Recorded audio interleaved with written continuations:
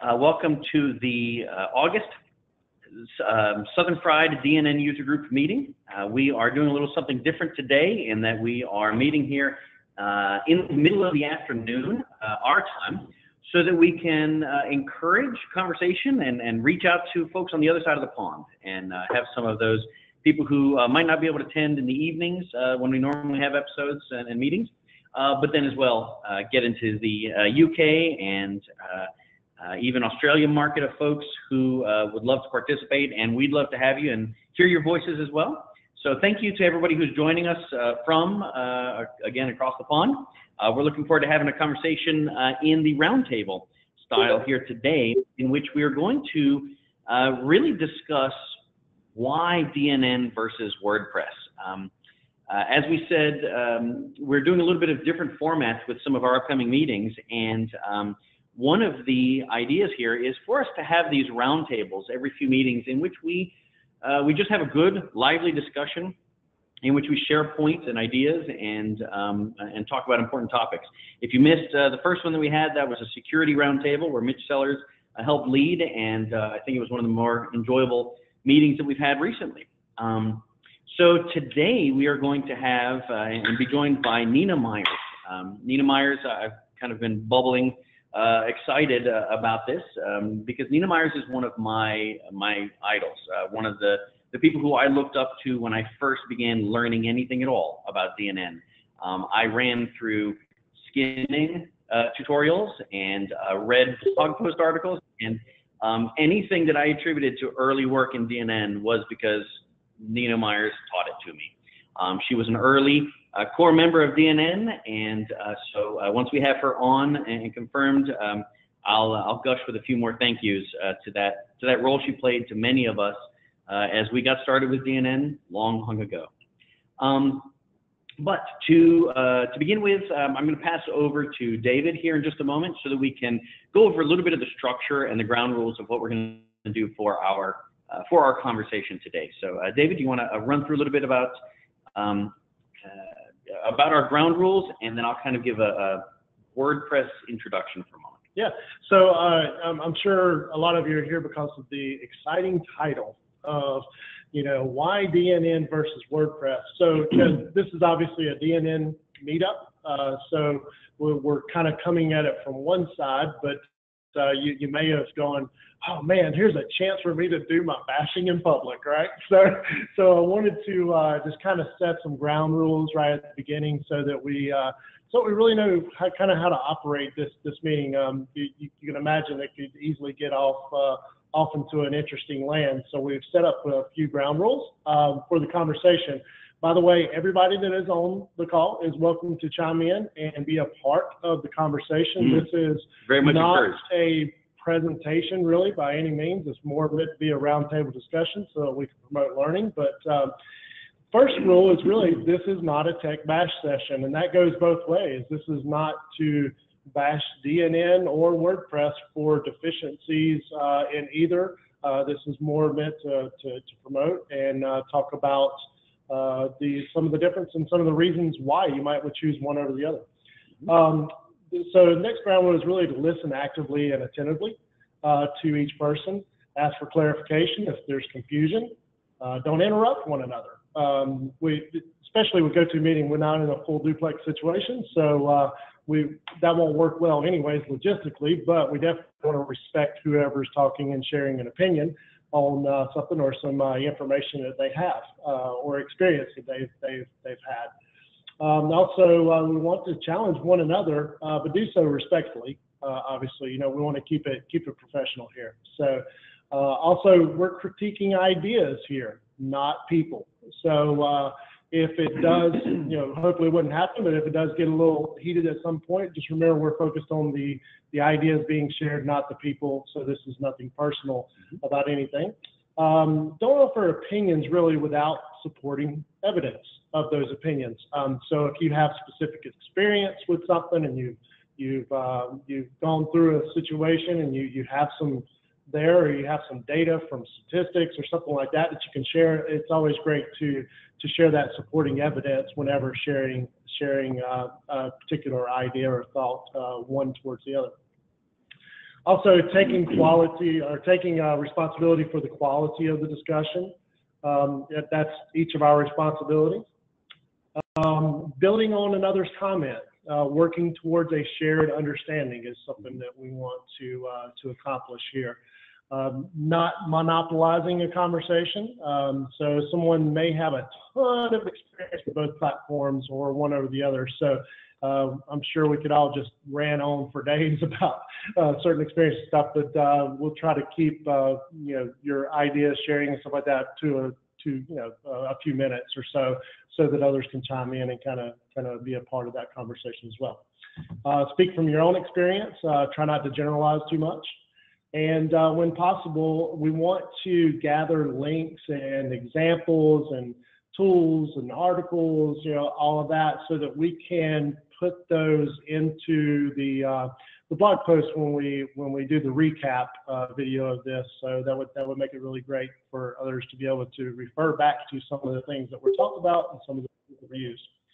And then last but not least, we'll reiterate the very first rule. This is not a bash session. Yeah. So yeah, we, we, we- we won't use certain phrases that we may would use uh, to call the other other out. So uh, we'll skip there. So so that's uh, so this is all meant to really just have an open conversation about because there are pros and cons to both platforms and there are situations that you can maybe use one over the other and uh, this is to have some good dialogue and share experience about that. So um, one of the kernels, one, one of the, the topics of discussion after user group meetings and, and around a beer at the local watering hole has been, what do you say to clients when they inevitably ask you, well, why aren't we using, why aren't we using WordPress? We have a DNN website and a new marketing director comes into a client's location or um, you know, change over and somebody else uh, is hired at an employee location or, or a client location, and they say, well, I know how to do things in WordPress, and it's just so simple. Why is this website in DNN? And we inevitably have to answer that question, sometimes on a hot seat, where the assumptions are against us just because of the overwhelming amount of websites that are on WordPress and how well or commonly known WordPress is. Um, so I'm going to kind of open with a short paragraph that um, I send uh, to clients whenever they start those conversations, and it's part of a much larger document that I'll I'll share some links out of as we kind of go through this conversation. But to answer that question myself, when when I begin, I will often tell people that WordPress is undeniably one of the most well-known tools to host a large number of the world's websites and that it's certainly one of the highest used CMSs when you look at reports that catalog and, and, and uh, list out the number of websites on certain CMS bases. Um, but after that, I begin going into different points of information, uh, um, and uh, you know, that's kind of where we're gonna we're gonna start off today. We have a few topics and a few categories that we can get into from um, from security, from user role types, uh, from extensions and extensibility um, to community focus and purpose and, and things like that. But um, let's let's check and see. Uh, do we have Nina on yet? Yes, Uh, we do. on. I just just pinged you there. So That is fantastic. She's uh, unfortunately standing out in the cold, I believe. So hi, Nina. Hi, can you hear me? Oh, we hear Hello. you beautifully. Hello. Oh, Yeah, it's very dark. hear you great. Thanks for joining us. Yes. Um, well, I don't know if you heard the introduction we gave you earlier, but um, I started off by uh, saying that I had to say thank you uh, to to the great Nina Meiers, who, when we all started learning DNN long ago, it was because Nina Meiers taught us DNN. I learned skinning and theming. I learned how DNN worked uh, by reading your articles and reading your blog posts, and um, it's taken a long time to say thank you, but I absolutely have to say thank you personally. Well, that's okay. I know um, I have to thank myself sometimes when I've gone to do a search on something and found, oh shit, I answered that three years ago in a forum. Yeah. Uh, I don't know. Maybe Well, I don't we- have enough sleep. Well, we're going to turn the, uh, the conversation over to you to uh, to kind of get started. Uh, you know, the the question to start it off is if uh, you have a client's location, uh, a client's new marketing director, and they turn around and say, "Well, why are you on DNN? Why isn't this in WordPress?" Um, that's uh, that's the point of of tonight's conversation. So I'll I'll pass to you, and we'll we'll get started passing it around and around, Dave. Okay, so I'm actually dealing with this uh, right now. Um, I have a client, uh, I have a website, I might have even posted on uh, Facebook about the problem I've got with the URLs since I've upgraded to 9.1. So I've rolled it back, but in the mean, last night. But in the meantime, for a couple of weeks, the website hasn't functioned, and they've got a new um, a new marketing manager in, and of course they would like to have things they feel are stable. And they've come in to see DNN, uh, unfortunately, when it's not been at its prettiest, because this was a DNN4 website originally that was handed to me through some very, I don't know, you know when someone hands you something that's just never worked quite right? and yeah. um, I don't know why. I don't know why. I don't have the same problem when I have my own um, builds and my own upgrades. I guess because I've got a system. And right. subsequently, this person, this other person has left the company, and you know the new marketing manager just all they see is the problem. And um, of course, it's like, what is this thing, DNN? What what what is it? Right. So. Um, I've got a little bit so I rolled the site back last night to DNN 8.4, and and I think in, I think uh, I think really what I say to people is that because I love WordPress, I want to let you know that I love WordPress. I look at it like a big candy store. I look at the colors, the themes, the plugins. You know, I can't get three days of my life back, but I love, you know, I love WordPress. I really don't have anything against it. I only have the issue of security. And to be honest, if security was paramount with, with WordPress, um, I would find it hard to not move there from DNN on the basis that I love lollies, you know, um, and I think I could go with the groove. But I have to sleep at night, and the security aspect from a non-technical person's point of view in the market of how they're sold WordPress these days concerns me a little bit. And I see people who pay $5,000 for um, an Envato theme that was $55 on a standard ah. DNN, uh, uh, sorry, WordPress build. And, that, and, and to me, I'd, you know, so I've got, I've got some moral questions there too. And, um, and I find it, we say to people, if you're not going to use um, if you don't want to use DNN and you don't mind looking after security, don't pay that $5,000 for the website because there's enough courses online that you can go and do it all yourself. But is that your core business? And when you launch your website, that's only part of it. There's a lot of maintenance. I mean, I've got my own servers. I've got um, two Linux servers. I've got my own. I bought a, a, a large um, machine, and I've got it under uh, VM. So I've got two Linux machines and I've got um, two Windows machines. And by far, I've been more nervous about the Linux machines because they are so popular and they are so, you know, you need to have a security team in there to really make sure you're on top of things. And, and, and in these days, there's so much to do in business that I don't want my customers to have to worry about whether their site's been hacked. And it's not if, it's when, unless you're paying money. And I, and I get and, uh, and this rubs me the wrong way that yes, you can log, you can get paid for a lot of services. So I think at the end of the day, um, I do love WordPress. I have nothing against it except security. You know, if you want to buy a car washed, I have to pay for the windows. I mean, really, should have the windows in there already and a lock. I don't. Why should I have to pay for um, this lack of security? Uh, that well, it, that the Windows has got that, that issue. Uh, WordPress has the issue. I, I love these analogies and, and phrases because they're they're the perfect sound bites that we can we can just take and, and, and share. Um, let's dive into security just a little bit there. Um, you know, one of the things that I, I start off when describing it with people is that WordPress did not start with developers focusing solely on security as a primary need and focus of what they were building.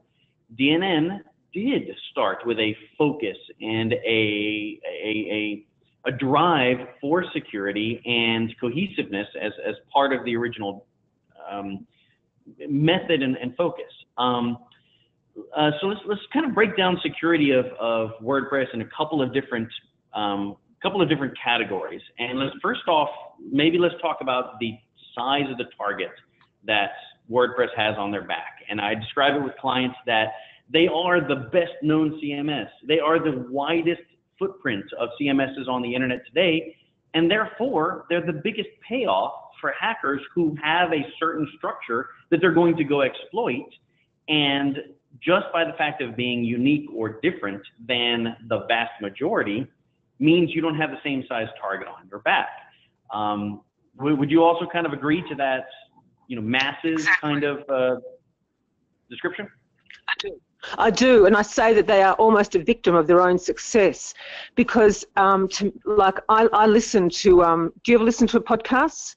I listen to Security Now. It's a two-hour podcast on the, the Twit, you know, um, uh, the Twit network, and there's money in hacking it's moved from being basically a um, you know a nuisance thing. Like back in 2000 in the olden days i used to send out and for about three years i sent out um, email newsletters at christmas that when you opened up the email the tune would play a merry christmas tune in your email. And sure, um, yeah. this is you know this this is a completely different world now. You can't do anything. So then as as as you've got nuisance hackers and um, then you get the people who can see that there's money to be made, and there's a lot of money to be made, and they're not they're not making it necessarily out of um, not because you're using WordPress, but they're using the vulnerabilities to infect other people's machines. That, um, that, that that concerns me, and there's millions and millions and millions of machines that are because there's money, and with this money, you're going to have, um, I think, the the appeal to be compromised and um, and and you know it's not like because I don't want to I don't like bashing WordPress. I love it. I want to I want to use it. I have gone down every time I've had a problem with DNN. It's given me tears or sleepless nights. Go and look at that WordPress thing, and I look at it, and I've got my installs, and I just think, oh, it's just too good it's too good because I just think that my whole business model will change to having to be a bloody security expert. And I and and and I and I don't want that. The one thing that I've told people is just you that you're as safe as you can be with me in the internet in the nasty internet world, and I can sleep at night. And that you know I don't I don't have as many clients as I had, but it is popular. It's so popular that it becomes a target. Mm-hmm. So that's a fact of and and um, I think too that uh, the veracity, like when something happens, it can happen so viciously and so quickly, frightens me. I want to bring up something else that I have given a lot of thought on. Um, do you remember is it those Podesta or some Panama, some papers that were um, exposed? A lot of people, a lot of companies' income, or you know, that yeah. was that was a that was a, that was a that was a broken WordPress site. Now, the one thing that concerns me about that part is where's the legal standing from a business point of view at some point in, in the future? That if I'm yeah. a company and I'm using WordPress and my customer's information gets compromised, where is the, um, you know, can I be sued? At what at what point yep. are we becoming like this has really impacted people by having their, their valuable information online. And um, I don't even know what it was doing now. I don't know how they accessed it.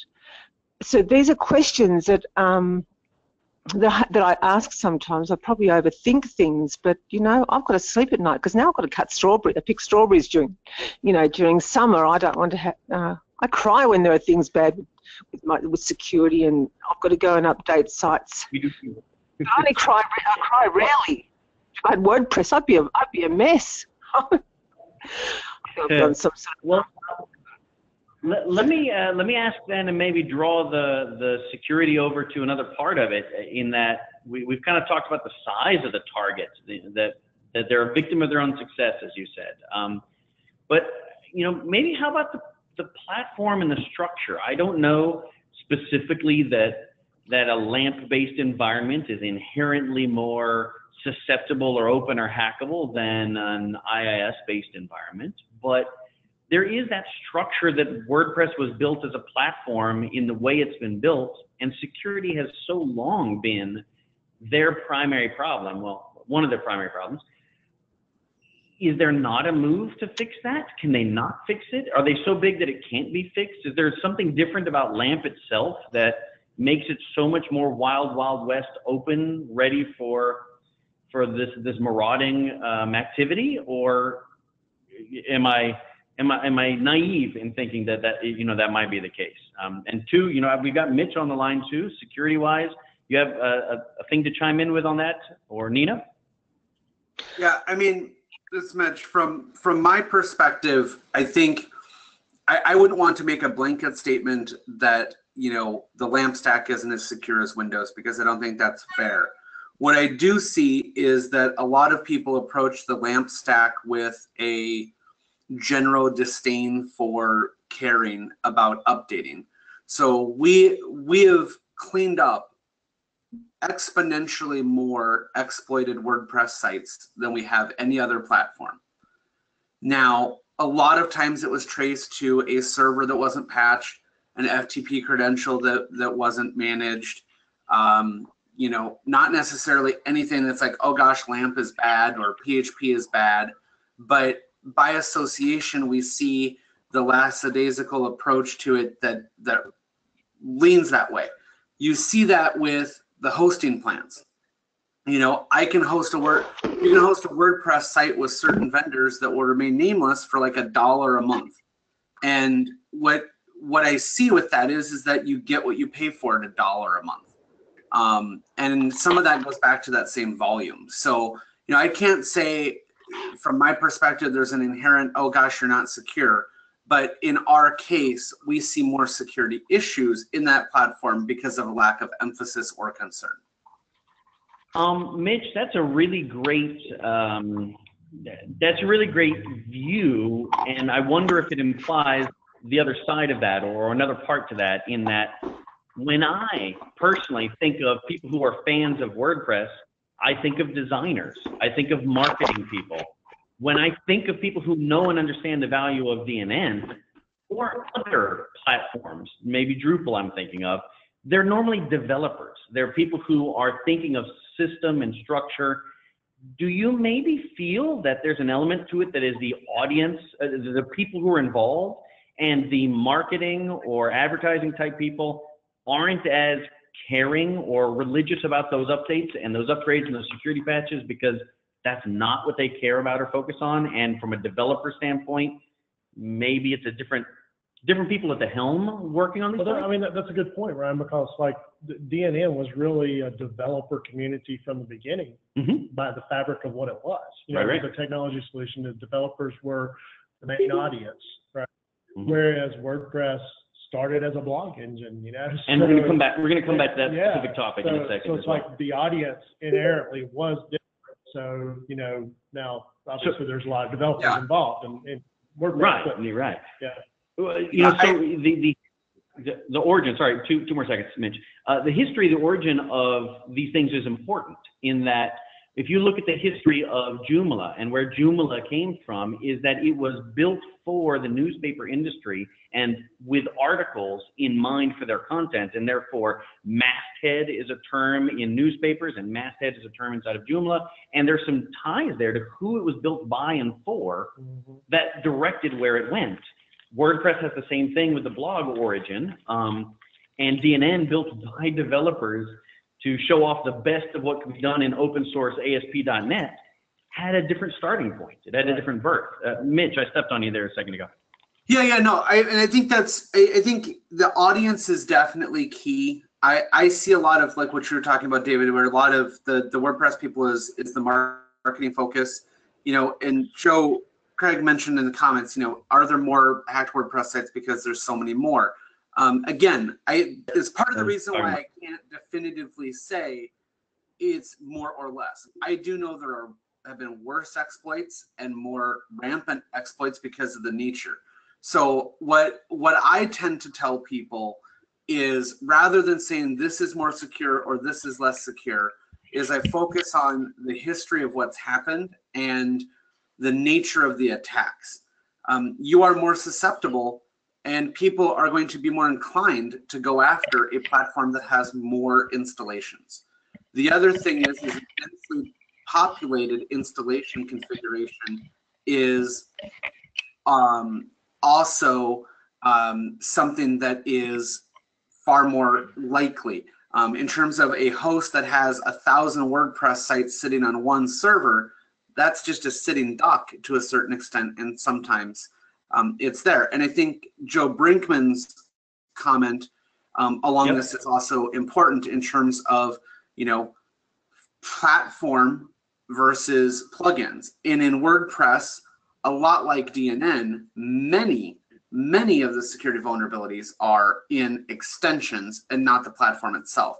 I can't talk a lot about that on the WordPress side, um, but I know that um, you know it's it's a little bit hard to to differentiate. Mm-hmm, mm-hmm. Um, do we have Nina uh, back in? Uh, part of what she was doing was heading back into her internet connection, and we are going to see if she's uh, back up as well to join back in. Can you hear me? We can Hello? beautifully. Beautiful. Hello. Um, so um, I'm trying to think of a thread that we were going back to, and and Nina, uh, you feel free to uh, to to take the reins back again and, and head in a direction. But part of what we were describing there was we're still talking about security, and we kind of went from they're a big target to is there something about the system or the core, um, and we, we've talked about that a little bit. Um, you mentioned Nina that there are these services that you can pay for that will help do security for you, and that's uh, I think that's another big nod to the fact that this is an issue with with WordPress locations that that people need help with and they don't understand. So you have uh, you have extensions that you can put in place like WordFence and um, iThemes security.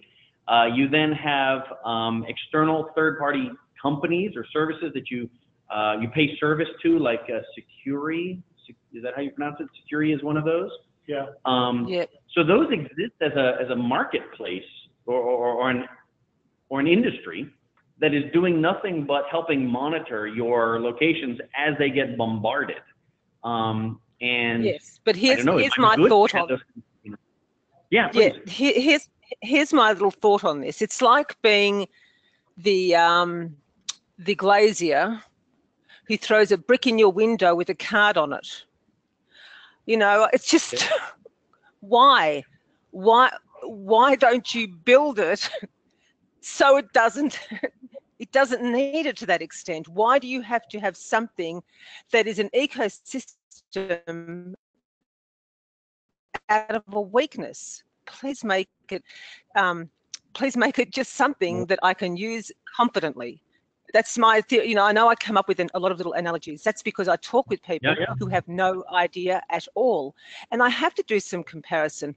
But every time I think of it, every time I think of a blank, see a blank new WordPress site, this is one thing I think that DNN has got, which I'm, I am pleased about, is that a blank, D, uh, blank DNN website does give you out of the box quite a few capabilities without having to create that vulnerability. I think WordPress on its own, by nature, if you just want to use that that blank canvas, is is a great product. But who wants to have porridge with nothing on it?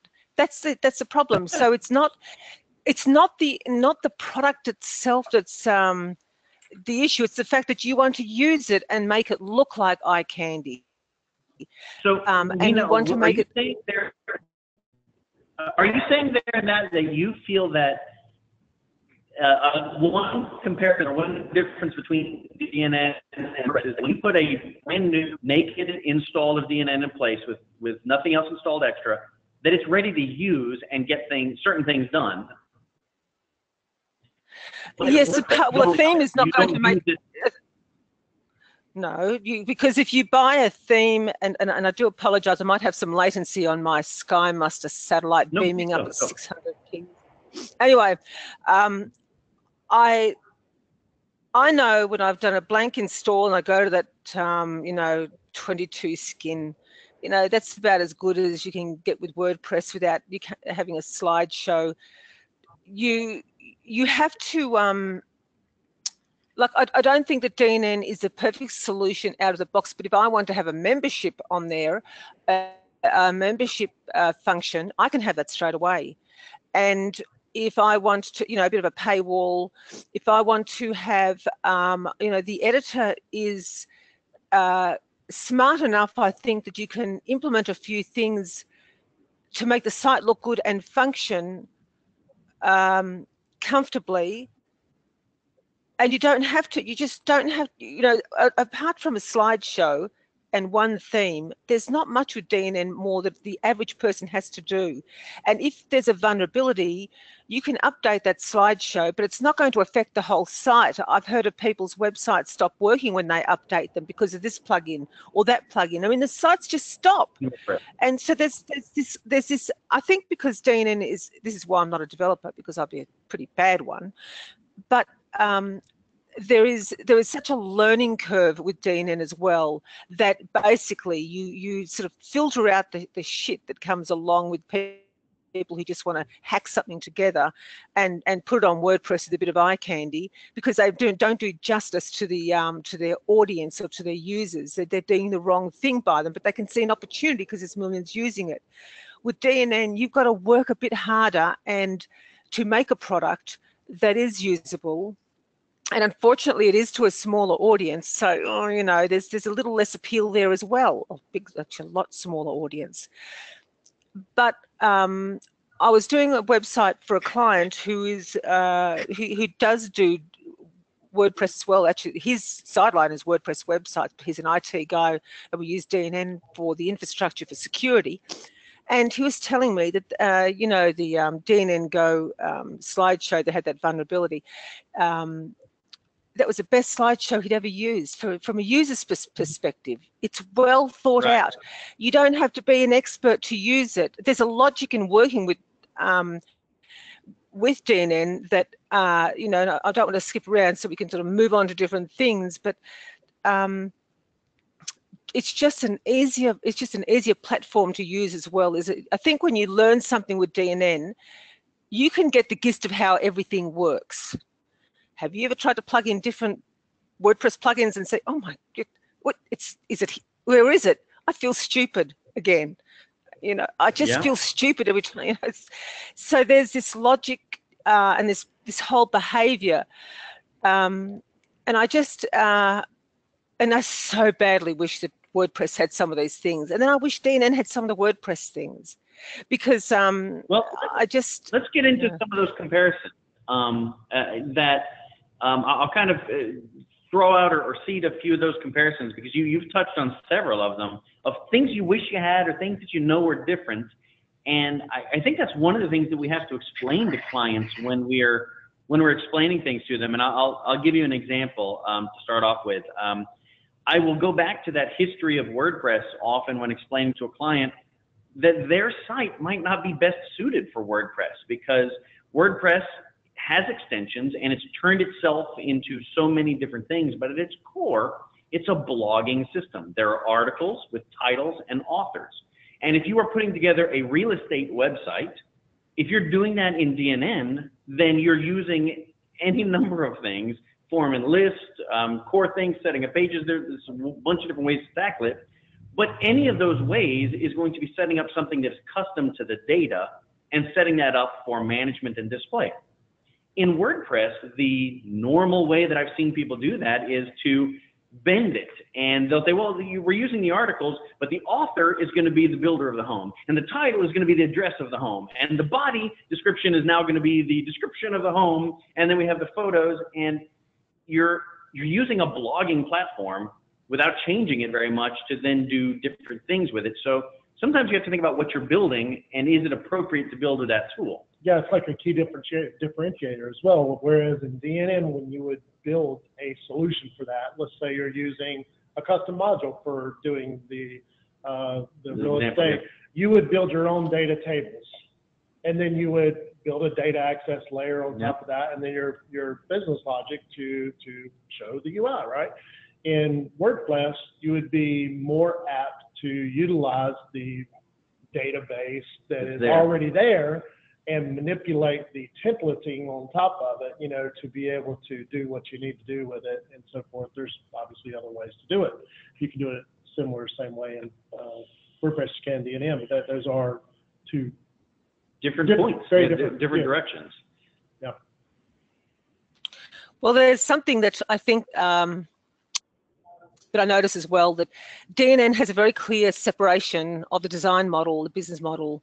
You know, there's there's uh, this is where I think WordPress gets a little bit muddied, as well as you are pointing out that if if something doesn't work, it can uh, um, on one aspect of WordPress, it can affect the site so dramatically, whereas uh, with DNN, if something doesn't work with the form and list module, it's not going to break the site completely. It's just going to break that element. And um, look, I'm not I'm not a WordPress developer, so I don't I don't understand all of it, and I don't profess to know it. All I do is what millions of other people do: is you look at it and you fall in love all over again. You see a theme and you think, "Oh, I want that. Oh, I want to look like that." But there's um, one thing that I have not found as as in even in WordPress that I've seen with DNN, and that's that property agent module from Ventrian, where I know it's a real estate property module, but the whole context of using XML, which let me tell you, I learned XML in 1999. I read about something that said that it can talk to a, you know, Linux, it can talk to, um, was Mac around then? I don't know. you know, it, it's, it's multi-platform and uh, it's, it's a conversation tool basically to talk to different platforms. And, um, and I told my guys, this is the way of the future. And they laughed and laughed and thought I was an idiot.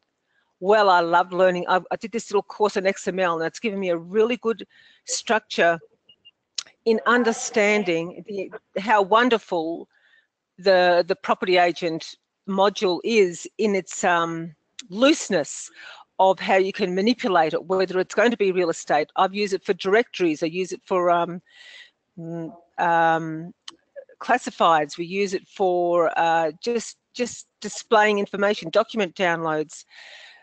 So I don't know that WordPress has anything like that because I think WordPress tries to find a, sol- a specific solution to something as opposed to letting the person um, building out the site be able to utilize a function that is capable of being flexible.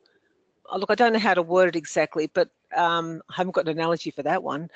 Uh, but you get the picture of uh, just because property agent, I'm not seen anything like it before or or since. It's just such a great module in what it can do when you start thinking about here's my set of tools I've got to work with, and I'm not going to, you know, the customer's got a small uh, uh, X amount of budget, or I haven't got X amount of time, but I know this product and I think I can get something more out of it. And that's what I love Mhm. about DNN is it does give you such good um, a few really good tools to do about 80% of what anyone really ever needs to have securely. That's a good And- quote and- right there. Oh, you, look, you learn a few over the years when you're just like, oh shit, should I use WordPress or not? I can't. I want to. Mhm. It's, it's, I don't hate. I don't hate it. So um, I just do taunt it a bit, particularly. Oh, sorry. Go on. So, so, so how about some other uh, comparisons and things? We talked a little bit about, um, uh, you know, the, the core bending of articles to be different things. Um, one of the ones that I, I mentioned before we started the meeting was uh, users and roles and permissions. Uh, maybe let's talk about that for just a second. Um, one of my understandings from back in the day with WordPress, we've had, we, we have some WordPress sites, it's just that we don't focus on it. And any solution that we need to put together, I automatically see 10 ways I can do it in DNN, and I really don't feel confident about any solutions that I would do from scratch in WordPress. So that's just my my vantage point that I come No. from. But But there's te- there's ten you can buy on you. There's ten or twenty or a hundred you can buy, buy, buy, buy, buy, buy, buy, and then this is another thing. Um, it's it's just because it's not in um because it's not inherent in the product itself. you can have 10 very good membership solutions that are seem to me to be like a combination of of e-commerce and membership in it but they each have got a different um, way of working and it's a very long drawn out thing at times to find out is this going to work? And then you have to pay for it. Now i do not mind paying for things. What i what i what i am very proud of with dnn that the longer you own it the less it costs you. Because when you pay for something unlike some of these memberships some of the products are not all. But some of the products if you don't keep paying that that monthly subscription it stops working. And I feel Hmm. like it's holding people to ransom. So, um, or if you don't up, if you don't upgrade it, then you become vulnerable. You know, if you don't keep Mm. paying.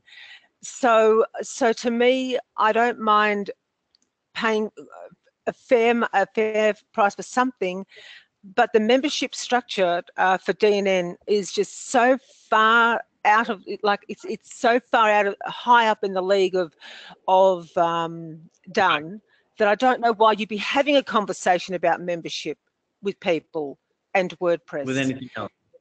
Well, that's that's what I was going to ask about. Is that, to my knowledge, back in the day, and I think recently, um, there isn't anything of that granularity of users, roles, and permissions from the element on the page to the page type of control that DNN just has at its core.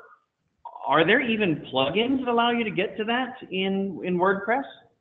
Um, TK in the room is, is nodding his head. So, you know, when I look at a, a, There at a are? question, Oh, a are. project where there are users involved, WordPress wouldn't be it because there isn't really good user management. So there are Um, Um, plugins for that, but she said you have to pay for them to get any good usability out of it. And is it robust? Does it give you page level and, you know, module level and page level equivalent uh, type of control? Actually, haven't worked. No, he, he, well, Yeah. so, so Nina? no, it would be more of just, Well, I don't. I'm. I'm trying to think now. I don't.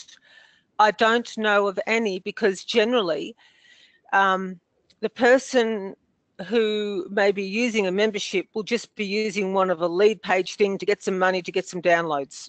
You know that that's the Mhm. context in which some of these membership sites are used, um, like some sort of paywall. But that's only often to get a digital, um, a, a, a- digital pr- product. Uh, so I'm not an expert in that area because I haven't actually gone through. I've, I've researched and I read a lot, but what happens after you read a lot of things and you know it's like looking at four, five, six houses in a day. Every house becomes the same. Um, so I have to be careful, and it's and it's not my focus. A lot of my um, look, I, I look at the reason I have to keep looking at WordPress is because I love it, the way it looks, and I just want that that that Pandora's box to be the perfect one for me. But but at the end of the day, I look and I think, you know, what's important, the granularity of the membership uh, of the of the roles, and that's using the Microsoft inherent. Um, I don't think DNN. Um, sorry, Dina, and you can't pride yourself for having written that yourself, but you are taking Right. advantage of membership. what Microsoft, the thousands of hours, the hundreds of thousands of hours of coding that's gone into make the mem- Microsoft membership structure, you know, it's you're tapping into something good already. So, you, you I don't know how we could even start. Uh, I don't think, uh, you know, when you look at DNN at how old DNN is, is as well, you know, 14 years old nearly now. So, we're looking at um, it has and it has evolved over time, even though it hasn't been to my um, always to my agreements in things, but it has evolved and it's it's very stable, uh, and it, even though people complain complain about it being maybe bloatware or heavy or whatever whatever they complain about, it is still powering some very big projects uh, that that um, I that I know like okay, so is, does so does WordPress. Well, WordPress, WordPress engine, the WordPress, you know, WordPress.com has built that eco-structure to pull in a lot of um, the big guys. Neat. That's a different. That's a different world. That's a completely different world. But I can tell you, I could I could do some nice membership sites for about you know one fraction of this of the of the money you'd have to pay to get the same functionality um, with WordPress, even if you had all the Mhm. custom coding. Um, but the membership part for me, like I, I've got one. Uh, I like the fact that we've been able to write small um, authentication providers. I think that's a really cool thing. So uh, one of the sites I've got, they've got 63,000 members and there's really only a few thousand active on the website. And at any one time, there might only be a few. I wouldn't say there'd be any more than 100. I, I can't imagine any, it's just, I couldn't even imagine that even at peak time. But we've, you know, Mitch wrote the um, authentication provider for so it talks to an external system nicely. And this is again what I like a bit, you know, it can it, the authentication, so you don't have to you can appease someone else's product without having to get them to cross over completely to DNN. So that's been very helpful. And it just all it does is, you know, knocks on the door, checks their checks their uh, current member, and and then logs them in. And if they haven't Mhm. signed up before, it silently signs them up, si- puts their details into the database. So it's it's seamless. Um, there's not a lot of other things that DNN that does it seamlessly. I think with the APIs, that's my little weak point. I think with with DNN, I'd love to connect to some like active mail, uh, you know, or um, uh, or just Zapier, some webhooks. Uh, maybe because I don't know how to do it, but I can't fault uh, the way it works, particularly down to um, you know page level, module level. That a person you can give someone a person, not just a role, but a person uh, Yeah. permission. That then you can have it expire. You don't have to think about the set and forget stuff. So my clients have found that to be very helpful. Um, I like there's something else that I that I'd um, scalability. Now in Australia we had something called Click Frenzy. They tried it several times. It went. They ended up being called Click Fail. Here's here's what I like. I go to I go to um, I go to a conference and here I can be a millionaire online. I'm an entrepreneur. I'm going to get people to pay me a million bucks as my five dollar website. You know, it's just and they get yourself a WordPress site, um, go and sign up and go and do your selling and go and pitch your project. And this company did this. They got all a lot of shopping companies, a lot of shops uh, like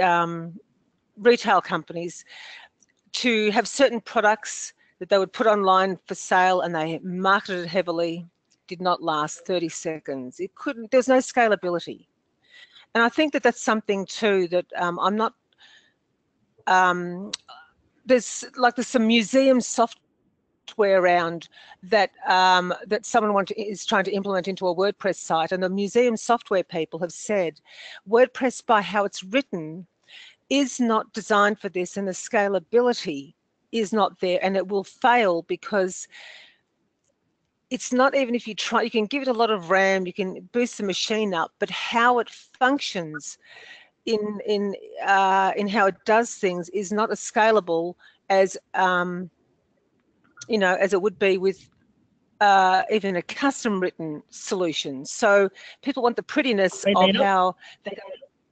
What was that?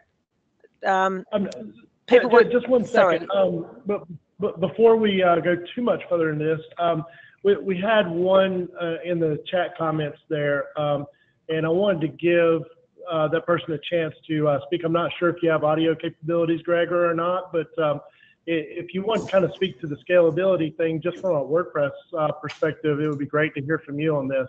And then we'll circle back to you, Nina. Uh, Hi, can you hear me? Yes. Yeah, we can hear you great. Thanks.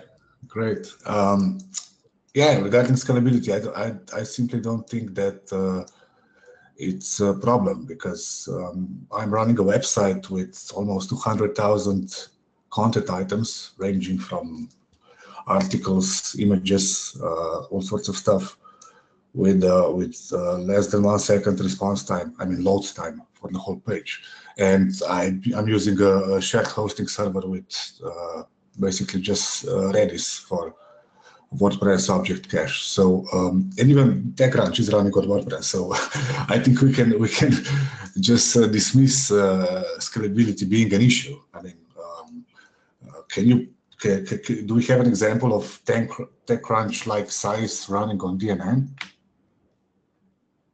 Oh. Yeah, oh, yeah, certainly, yeah, yeah, plenty. And also, you know, let's define what we mean by scalability too, I think. You know, there's content scalability, then there's really site scalability, you know, and Load, multi-site type thing, load, people. yeah, uh, transactions, uh, that, that type of stuff too. So, um, I, I know we have different perspectives from different, uh, different, you know, areas there. So, uh, definitely, but that's, that, that's an interesting, interesting point you point out there. Yeah, in the comments, one of the things that Gregor started off with is saying that, you know, TechCrunch.com is on WordPress, and obviously they're a, a heavily trafficked, very popular uh, industry website, and um, they're they're on, you know, they're on WP as, as their as their background. Um, you know, if, we, if we're going to get into examples, Mitch can probably get into some good large examples of, of scalability in the DNN world. Uh, I also point often back to the uh, the DoD as my example, just because of the nature of one large decision impacting a lot of websites to come along with it. So when the Department of Defense in 2012 chose DNN as their public-facing platform, that got you the Marines.mil, that got you the Navy, the Air Force, the VA Veterans Hospital. Um, I heard some number of like, what, six hundred and something instances, um, of wh- when he was talking about how many 670 were changing over that year, there was a Yeah, lot. Yeah, yeah. Uh, so you've definitely got scalability and from a government perspective, a large volume of traffic that's, that's coming onto these sites. Um, um, but I think I lost the point of where I was going with it. Yeah, well, let- let's circle back to Nina, because she was right in the middle of thought, and I kind of interrupted her there, but I wanted to give, uh, some other folks a chance to chime in there. Yep. No, I'm going to, I'm just see on my side here, I, um, I haven't got much window, so I'm going to scroll down. Um, look, yes, these fantastic bigger companies running magazine style sites um, are running, that are running on WordPress on an infrastructure and a budget that is far exceeds the average person. Because you, I think sometimes that we can't compare, uh, you've got to compare apples with apples because a lot of these shared sites, um, are, you know, uh, the five dollar a month, whatever, with a stack, you know, 5,000, 10,000 WordPress sites um, on one server. Uh, and at the end of the day, 95% of them are not going to really do anything, and you can you can get away with it. Uh, the management of it would, I think, does make them, um, like you said earlier, makes them a target. Um, but I can't. I can only uh, comment on an on an email that I had received on the on the person who's who's doing this. Um, you know, like you know, when you go to these information places and they look on the computer, they've got the historical information about the town, and people come in and they give all their information and they they then archive it. It was archiving was it was museum archiving software that they came out and they said you will never get the same results trying to do something um, uh, and connect to a WordPress site to feed the information out. Now, this could have been from the point of view of them and their product and how it's been written that it can't be pushed out to a WordPress site in the same way. I don't have all those facts, but I do know that in our in our little country of Australia, with our 25 million people sitting and clicking on that screen to try and buy our cheap little Click Frenzy product, it turned into Click Fail. So then came back because um, you know you're only a failure if you don't come back and do it again with Magento. And the same thing happened. A WordPress site with Magento on the back end of it. And they didn't have all that caching and didn't have all the scalability in there. And it happened again. And I haven't heard from them since, but I'm thinking third time lucky. You know, then maybe they've read the book, I don't know when the horse is dead. But um, you know, so I it's it's just uh uh, you know, they weren't paying for the eleven thousand dollar a year Magento. It was the free one. Once again, we come back to this thing about you know Ah. throwing money at something. uh, Yeah. Sorry, I know. Well, the, scalability was one thing. Let's kind of edge over to uh, some more topics of uh, uh, points of comparison and differences of, of DNN and WordPress, and maybe some comparisons there of why one over the other. Uh, what Well, APIs? Uh, Yeah, API was one thing that JD uh, brought up, and I don't know if he wants to talk a little bit and kind of focus us on, on the co- conversation on where, where to talk about. But it was in general APIs and integration with mobile apps Yeah, and some of the comparisons there between the two platforms. Um, I'll, I'll kind of kick things off by saying, you know, it looks like WordPress, you know, API, REST API is baked in now uh, to it. Uh, so, so you can pretty easily uh, integrate uh, with that. Um, and DNN uh, certainly allows for the building out of custom APIs and so forth uh, through the uh, DNN's flavor of Web API. Um, so anybody else want to chime in on this? I'm not an expert on APIs. I just get API envy when I go, you know, and I say to someone, "Can you do it for DNN?" And who? What? What? What? oh dear. And I, uh, I, I, yes, I'm forever looking at that glass shop and thinking, I don't think I'll ever go in, but gosh, it looks great. Um, pretty. Uh, pretty. it, it does. It's it's another thing with um, e-commerce as well. Uh, you know, that's uh, because believe it or not, I have been using Catalog Store. Uh, you know, you think, oh my God, Catalook, what is that? Does it exist? It's actually, I've, I've got one site that does, you know, it does half a million dollars over a season with, um, you know, 30,000 transactions and it just powers and it connects automatically to a SQL server and an access database, uh, the front end for the, for the user. Um, and I think that it's more of a developer tool. But I think that um, DNN has possibly, um, like I've looked, you know, hotcakes. I've loved, uh, looked at the product, but um, I don't. I think sometimes you look at the cost of things. with um, with uh, with DNN, that I have found at times you you are you are in competition. This is probably a good topic with the WordPress market, where in particular to plug in to get a shopping cart like there's Ecwid, Shopify, um, WordPress, uh, uh, um, WooCommerce. and WooCommerce, Magento. So as far and and they are platforms that plug in so neatly uh, with with with DNN that uh, well sorry with WordPress that I wish DNN had the same uh, thing. My my son he did because my son's a PHP guy, writes you know firmware, CGI, Perl script. He's, he's been a bit of a bad boy in his younger years, but um, we have written some software that has uh, hooked into PHP. But we've also, he actually, we actually had an amazing, fully blown shopping cart uh, using the uh, XML functions with um, Catalook to turn, you know, those, um, you know, instant store you, you, inventory sites where you can go and connect to their, um, you can connect. This is for people who want to sell online. You know, that they, buy a product, they, they, they get a product and they get an affiliate commission.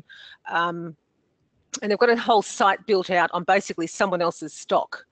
And uh, there's quite a bit of this going around for small people, and we've, we've, we've tried and we've been able to build that out in, in, in Catalook. It's been pretty good. But I would love to be doing more with um, e-commerce, but my client base and the typical clients I have, I am always faced in a with a financial competition of, you know, "Oh, but Magento is free.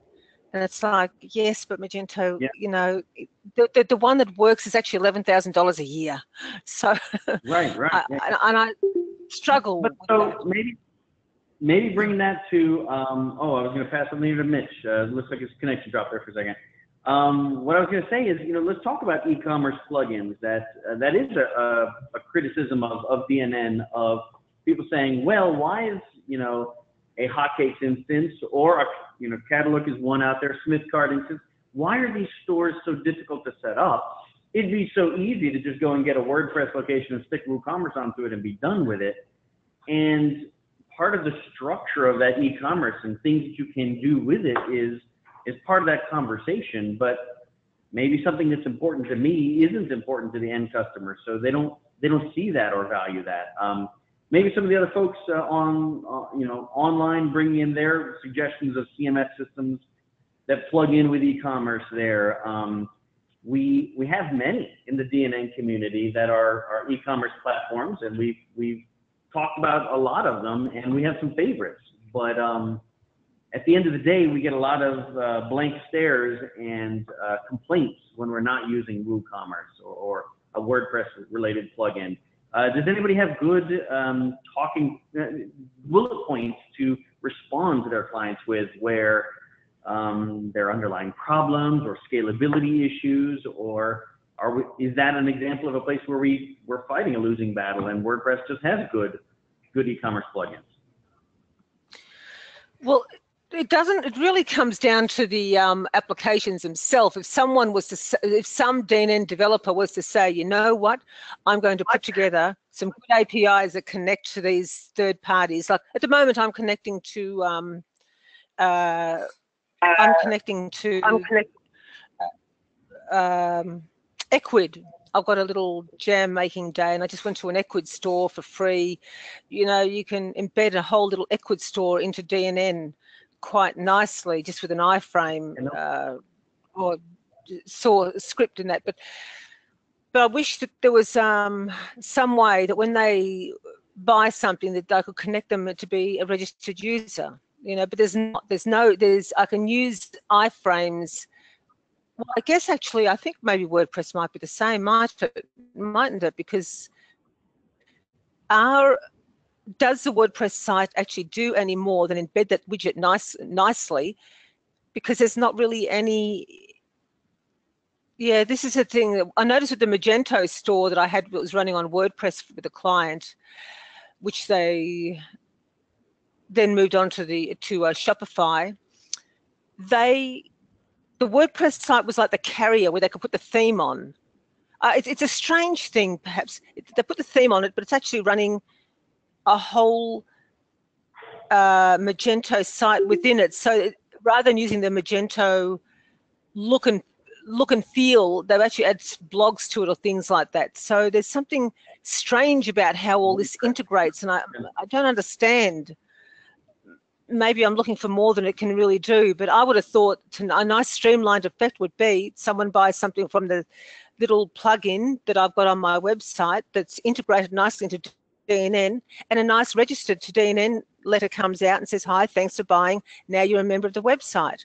So maybe I'm looking too deeply into what I'm expecting because I've got an assumption that the membership thing should be in everything. A membership functionality should be in yeah. everything and it's not with WordPress. Maybe it's me. Oh my God. or, or, or any of us with with the view of how that works well in DNN. Um, so kind of bring the, bringing the question and passing the baton to folks um, online and on uh, on the phone conversation as well. Um, anybody else have good suggestions there of of the what you say to customers and clients when they're talking about e-commerce and WordPress versus versus those same things in DNN? Are there any other good points of wisdom? I don't know if uh, Mitch came back on yet. I don't see him looking. Yeah. Um, well, uh, kind of going back around to the API side of things then, uh, uh, JD was uh, really onto a good few things there, talking about API and uh, talking about how um, you know things are heading towards mobile as the focus, uh, mobile applications. And um, JD, do you want do you want to chime in there a little bit? maybe um, point that towards differences there between WordPress and DNN. Are you are you saying that you're seeing support for that in the WordPress community and you don't see it yet in the DNN community? Hello. Can you hear me? Yes. Hello. Yeah, actually what I think is, see, when uh, 2002, 2003, when uh, DotNetNuke started, and that time the, the, the, the, the age was of websites and that is how, and the uh, DNN was the first CMS or first open source project on uh, Windows uh, platform. Rest everything was on other Linux and all. You know that is how it came in, and that time. Mm-hmm. Uh, but the, now when we talk about platform independent of that kind of a thing, the situation is different. What we are talking about is mobile apps. So uh, basically, you know, now now now when we talk about platform independent, that doesn't merely mean that it should be on uh, Windows and Linux only. It should be on different kind of an, uh, mobiles like uh, iOS or Android or you know Symbian and those kind of things. So looking to that, now what we need is we basically need a, mobile framework. You could probably call it like DNN was a website uh, CMS framework. Now we need probably mobile framework. So basically, we need some kind of a situation whereby the, you make one code base and a different, uh, you know, the kind of a model or uh, view views for different uh, application, different devices. So mobile devices is one, and the web could work, could be one of the devices. So if we can have some kind of a web, web APIs or some kind of things built into the DNN. See what is happening is suppose I want to log in in a DNN website using mobile app. Then I mean I, I just can't do it. So I can run the mobile app. I can make a web view and run the uh, DNN on any, any other website. But if I want to really interact with the database, then I have to have some kind of a web API. If I want to do it right now, I have to do everything on my own as an application developer. I have to develop everything. Whereas in case of uh, WordPress and all, they are giving you web APIs, right? So or some kind of an API, so that what you can do is you can just integrate them and only use your custom thing only to be added. So you can leverage the functionality offered by the wa- uh, WordPress so that you can easily make an web, uh, uh, you know, mobile apps. So my point was that if you can do some kind of a the, the those those those things, basic things in DNN and offer those as a web API or web services or some kind of services which can be consumed directly on the mobile apps, that would be great. Um, One of the things that we do on a normal basis is we integrate with both WordPress and DNN from a mobile app perspective. And, you know, DNN does have the built, in, especially in DNN 8 and above, you've got the JWT authentication. You can authenticate against the DNN user base, so that is there. Um, and then as far as integrating with it, we build our own APIs to, to get to whatever data we want to within the context of DNN. WordPress is a little different in the sense that it has its own API for accessing, you know, all the articles and posts that are pages and posts that are in there. So you can just go directly to that. You don't really have to roll your own API, API. in that sense. It's just more on how you've got, how you're utilizing that Mhm. data and structuring it and, you know, presenting it and so forth. So, but. it's uh, there, but yeah. you're building it yourself to what you need. And and part of that was what what JD was saying was that he has to do it himself, and, Right. and I understand that. Part of it too is that then under the core, you might be able to instantly build that type of thing if you were only dealing with the HTML module content or some specific set of content, and you could have that automatically. But once you have so many different things, you have to kind of build your own. Yeah, you gotta manage it out, yeah. um, two, um, Joe Brinkman, if you're if you're on or able to do audio, if you wanted to uh, talk a bit about liquid content on that perspective, because it's not exactly the same, but when you're talking about managing um, content, uh, that's that's the point of the focus of, of DNN liquid content um, approach in that you're managing that content that's getting pushed out to multiple locations. Uh, yeah, can you, can you rephrase the, the first part of that, Ryan? Because I didn't, I didn't catch that. I was, I was just coming back into the No office. worries. Yeah, no, no worries. Um, so JD was talking about APIs and in the WordPress world uh, about how there's just a ready-made AP, web API present in WordPress that just lets him begin using it to, to get to that content. And I might argue that it's because it's the blog-related core article content. And I, and I said, well, you know, the, um, David talked about, uh, you know, his view of, of building those same types of things in DNN uh, where we do have web API uh, available and we can build things, but we're having to build that API ourselves. Um, so that was kind of the API direction, but I wanted to pass it over to you for a moment about liquid content in that, you know, the world of getting your content and managing that content for mobile applications and having DNN be the core of it, that is the focus of liquid content. Um, so I, I thought I'd pass the baton to you there for a couple seconds. Yeah, the, uh, so I think there's, there's two parts to that. I think first, I think there's a, a misconception about what's available in the platform today.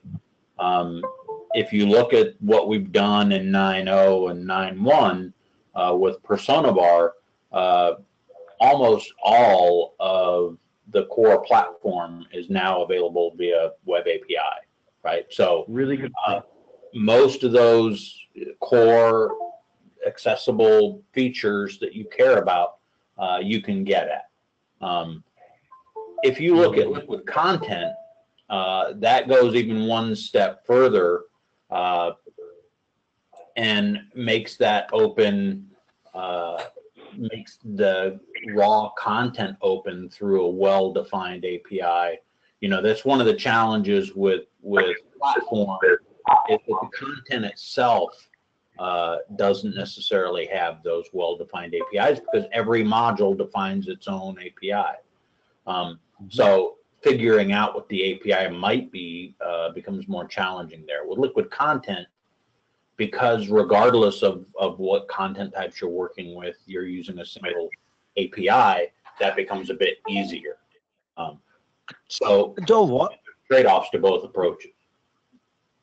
Joe, what I was asking that see, like for example, you know, I understand that uh, you know in nine nine point one and on, we have got some better things, some web uh, web APIs exposed. But uh, suppose I want see there are first of all we don't have ready-made uh, good tools. Like for example, you know, WooCommerce is free free kind of a thing. Now of course the hotcake is there. So those kind of in e-commerce or those kind of in modules, they that is not exposing those web, web APIs. And of course, that may not be the concern of the platform. But as an application developer, if I want to sell it to the customer, I mean, what is what is the what are the options that I suppose I want to send a mobile application, mobile e-commerce application? What options do I have? I if I use if I want to use DNN, I have to develop entire e-commerce platform basically eh, on, on the mobile app too, and on a on, on a module too then only I can use it. But suppose we have some kind of a mechanism so that a module developer can utilize and expose this web API so that it can be further consumed. See, like for example, if I want to make an uh, uh, WordPress e-commerce application on a mobile, I just have to use the API offered by the WooCommerce. And I am not sure whether WooCommerce has made that API himself or it, it is exploiting some part from the from the WordPress. But Well, we that- need see, in a this is where um, this is where it comes into. This is not a WordPress uh, thing. Someone has seen an opportunity to get their product into into a very big CMS. Now, if WooCommerce was to say the same thing with DNN, I think you'd have a different uh, a different environment to you know to work with because that is not a DNN and WordPress Yeah. Um, that, that's where I can see when how you're talking. This is why I say to the developers, uh, you know, I've got a few people I know who are writing a bit of code here and there, and, and then talk about they're going to do the WordPress plugin. So it's actually been driven by the um, by the vendor as opposed to the actual Right. CM the, the CMS being used. So I, I yeah, that's the there- frustrating part. Yeah, to Nina's point there, uh, Hotcakes is an example of that. Hotcakes has a very robust web API for the things they allow you to do, and that's because they wanted to build that. So, framing her her statement again, it, that's a little bit more of a difference between what a module vendor has done in their production versus a capability or uh something that's provided for in the underlying CMS of WordPress versus DNN. Um, we, we're kind of running up to the, the end of our meeting here, and, and I wanted to at least throw in one more topic just to hear, and, and that kind of comes back around to how I know Nina the most uh, from the beginning is, um, let's talk just a little bit about theming and skinning here for a few minutes. Um, that is another major difference in DNN versus Yeah. WordPress, and I think it deserves a little bit of, of conversation uh, with the group. Um, you know, there's, there's a, an, an integrated level in which in WordPress, themes mean functionality. And when you put in new or different types of themes, many times they have functionality built into those themes and they're not separated from each other. Whereas in DNN, there's a very different structure in that the style or the theme, skin, normally in itself doesn't have any functionality built into it. It's just about theming. It's just about that that styling. Um, uh, so that is a difference between WordPress and, and DNN, and there are parts of that that I think of as a strength. Um, but I, I want to put it out to the group there for for some thoughts about that. Look, you know something. I I remember um, back in the forums, dot, you know, the forums at ASP.NET days, um, because I was thinking about I'm going to be talking to you guys well, uh, a little bit of history. I can remember there was a, an urban myth, a DNN myth, that you could only have 10 panes in a skin. And I didn't think anything of it, but one day I counted mine. I had 11. and I and I remember posting on the forums somewhere about, oh my God, something's wrong. I've got 11 panes. What has happened? You know, you, you could, you, you, you can only have 10 places to put content and I've got 11. What have I done wrong? So uh, I, I, I, I'm proud that I exploited that, that myth. But so now we've got skins, uh, some, it's, I can Yeah, remember, some- it's some just, put 22 uh, panes in a, in a in a theme. oh, there's a lot now. Um, see, I don't do, I don't do, uh, I don't do skinning really these days. Now I've moved out of that. I did employ staff to do it, but because what I noticed is, like any technology, uh, is that you know DNN was so big because it was new at the time, and I think it, that the, the fact that it didn't go onto a um, onto an onto a platform like Liquid Content's going on there now, but because WordPress sort of basically became a hosted solution from early on, that they they lost a lot of a lot of their market. But that also times change. So what would happen is um, John Mitchell, you know, you're familiar, you know, John Mitchell from Snapsis, he was on the core team that, and he's doing some amazing things with DNN. I, I just got a lot of respect for him. He's done a lot of work for me, but he built, there was no real theming between uh, native theming in DNN one to, um, not really till three, but he had a skinning engine. And so I would write, so he basically was that, that, um, you know, that uh, conduit between you'd install it and put a pic you know and it would work because because beforehand you'd have to skin the whole um the whole basically Just- yeah. the whole site. Uh the core files actually that's what i meant to say. And he put the engine in that allowed you to separate that. So uh, and I think possibly um, we started to get on very well because I was doing, I was theming the whole site, but um, he saw an opportunity um, because I just do, you know, I just provide him with the with files or, and you'd have to put a bit of code in, you know, into the into the themes, and then it would work great.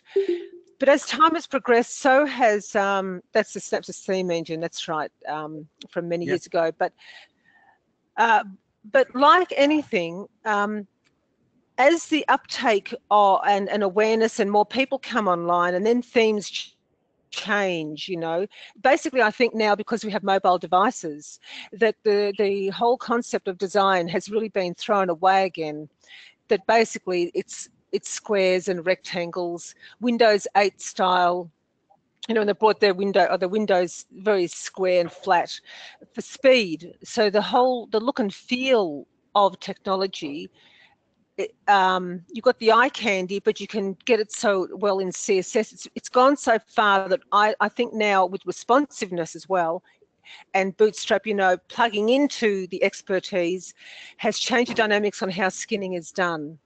And basically, you can buy a theme from many different suppliers, and the context of it is still really the same. Um, I think that uh, the one thing I'd like to see with DNN is, is that I've been reading about um, Google's AMP uh, for mobile devices. I've been playing around with it a little bit, so I wish I need to learn a little bit more um, about how to make to amplify the site. You know, you, you know Google's AMP. That that's when Yeah. you know when you go and do a search on Google and you've got those little. It's already a pre-answered content. Good on Google. Don't take people to the website. Um, I think that there's there's opportunity for people to enhance their um, uh, search engine capabilities by having more amplified sites uh, with with Google.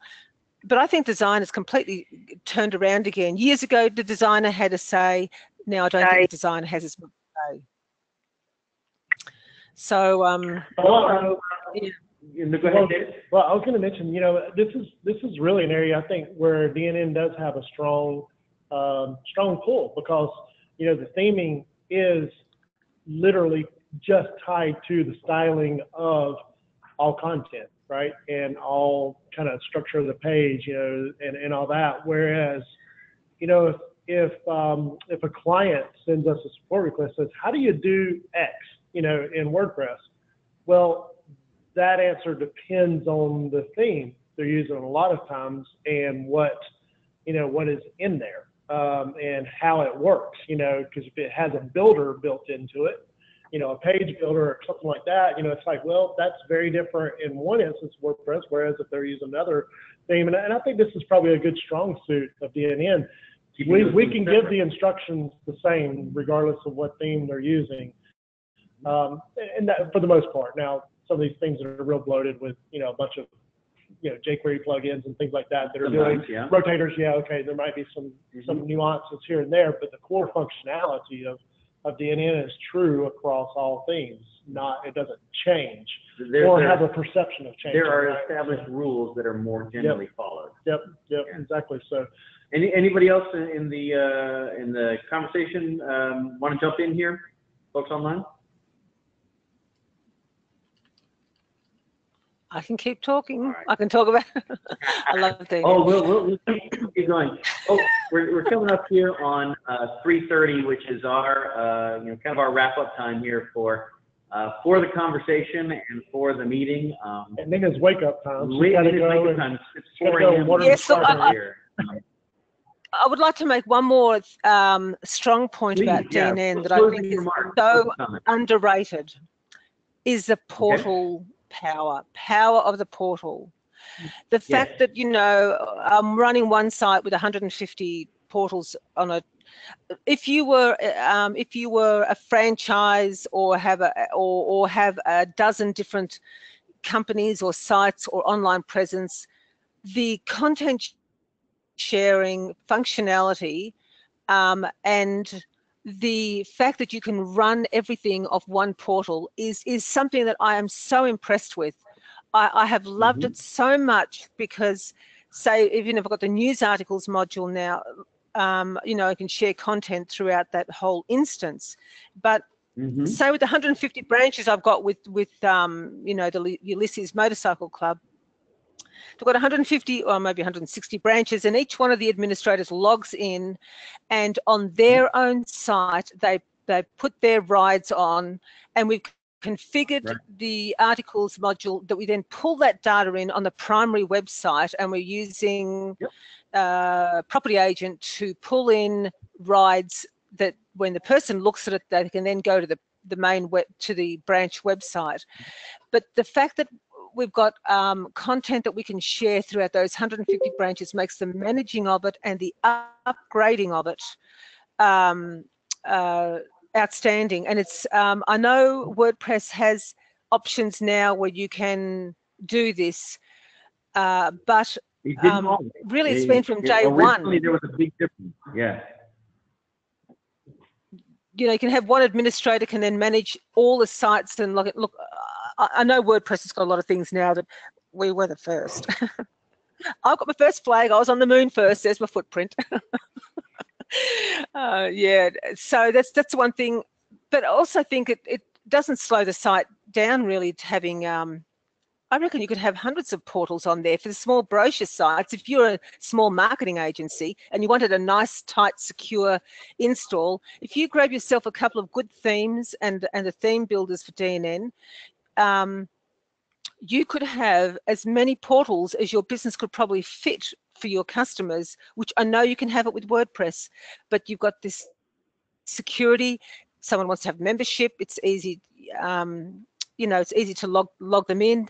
Um, but the but the message like you have in training and um, you know it, it, it's all consistent and i think that from a marketing point of view i, I like I, I do like the comfort of that um, that's one thing i think has been outstanding That, that's a really good wrap up of, of a major difference between DNN and WordPress. Uh, just to ask the question to make sure I, I get the, the details on it from what WordPress can do now. Because at one point in time, you had to do a separate WordPress instance for every single separate website you wanted to have in WordPress. But they, they now have an ability to have one WordPress instance that has multiple websites on it. Mul- Multi-site. Okay, so within that type of structure in WordPress now, separate administrators who cannot mess with your stuff, or is there bleed bleed over between the two? Um, and anybody online have, have some insight on that? Multi multi website or multi. Well, um, Gre- Gregor mentioned that it does have that support, but he's not a huge fan Hmm. of that.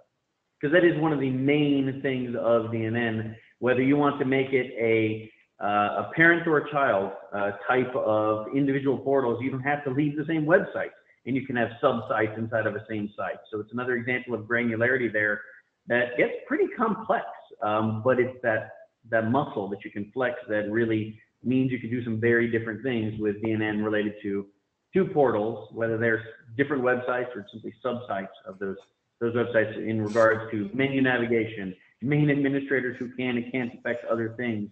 Um, but then between portals and uh, portal groups, uh, then that ability to have content go between multiple portals, modules that help you get that content between multiple portals, like article modules, that's a pretty big difference of something that's available just out of the box in, in DNN. Well, we kind of mentioned too, Yes? pretty soon there's going to be another key differentiator. DNN's going to have a command prompt built into it, right? I mean, No one else has a I- I- I command don't prompt. think anybody else, Okay. including WordPress, is going to have that. So if you're not in the, in the know on that one, be sure to catch one of the previous, uh, Southern Fried meetings where we, uh, talked with, uh, Kelly Ford, uh, talked with, uh, Prompt, uh, that, that module and the, the really exciting fun things you can do with that. And of course, that is being brought into Core, uh, so we'll see it now soon enough, uh, across the board. And it's a, it's a pretty big difference there. Um, I would say the marketers and advertisers would, would cringe at the idea of seeing a prompt, uh, you know, a, a command prompt on, on screen, but for us developer types, that's a very exciting thing. Um, Gre- Gregor mentioned WP CLI as well, which is, yeah, we, it's a little different. Uh, you'll have to look up, uh, that past meetup on, um, on DNN prompt to, uh, To get into it To understand a little understand, bit more what we're talking about there. Well, uh, folks, uh, I want to kind of uh, bring the conversation to a close here and, and, and wrap up. Uh, thank you to everybody that joined us online. Uh, we had folks from Corp, we had folks from Community, we had uh, folks in the U.S., we had folks in the U.K., we had folks in Australia, um, and uh, that's uh, that's a great kind of meeting here that we love to see, where uh, everybody's joining in on the conversation and uh, sharing their experiences. So, uh, thank you first off to Nina Meiers for joining us here and. Uh, agreeing to help host this conversation with us. Um, kind of going to give her a round of applause real quick for, and thank you for joining us early, early in the morning here. Um, Yes. uh, David, you. you Sun, had sun, sunrise. Yeah, I was gonna mention- Yeah, I was gonna mention one thing too. We have Hans Lansing on the line as Yes. well. So anybody that has not uh, registered yet as a DNN expert on do DNN.work, please go out there and do that. Um, looking to grow that database of DNN experts out there. And if you need projects Yeah. uh, for DNN, that's a great place to post your projects and connect up with some DNN experts. Um, and you know, I think we mentioned it briefly at our last um, user group meeting, but uh, let's let's make a note that at our, our following uh, meeting next month, uh, let, us have a moment to just bring up the site and describe uh, do DNN work um, because it's an important uh, new resource that's out there that we should help promote. And again, the, the idea there that if you're not already registered, uh, go ahead and register yourself, register your organizations. It's um, that, that's the point of it. That's the point of it. It's uh, there we go. It's on screen. Um, you know, good looking, clean uh, design. A mobile app coming for that sometime soon? Yeah, yeah, yeah. We're, Really? we're Oh, there's a mobile Yep, app coming. yep. We're working on a mobile app right now and uh, gotten delayed a little bit, but we'll eventually get back on right. that and get that launched. I thought I'd mention it. Um, well, again, uh, you know, as we wrap up, thank you everybody for participating. Um, this was a, an overall conversation about you know, what you say, what you answer when people talk about the differences between DNN and WordPress. Uh, we might even have a follow-up uh, meeting in which we get into each of your individual responses because I have heard some some pretty crafty, clever uh, responses, uh, not in evading the question, but really cutting to the heart of it.